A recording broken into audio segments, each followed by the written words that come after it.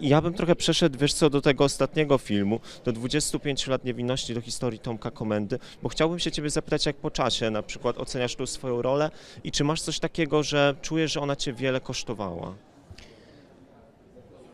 Ja tego filmu nie dałbym rady chyba obejrzeć ponownie. E, Pamiętam jak raz stacja TVN puściła w, w telewizji film i nie dałem rady go zobaczyć i nie chciałbym wrócić ani na jeden dzień na plan do tego filmu. E, To była dla mnie jakaś taka olbrzymia lekcja, nauka. E,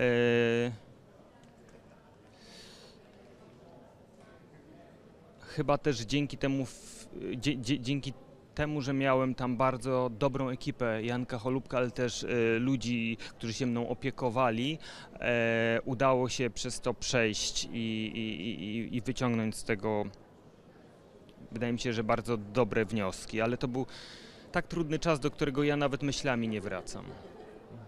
Czyli starałeś się od tego odciąć, a czy miałeś na przykład y, w głowie taką myśl, że jakby była kontynuacja tej historii, to wziąłbyś w tym udział, czy na przykład zbyt wiele cię to kosztowało? No nie, nie, nie będzie kontynuacji tej historii.